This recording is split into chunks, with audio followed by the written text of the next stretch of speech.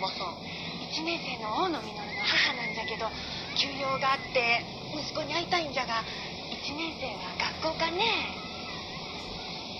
それともお寺に行ったんかね。わしゃ2年じゃけんわからんよ。先生に聞かんとねあれ ?B25 じゃんいつの間に来たんじゃおかしいね空襲警報もならんのに。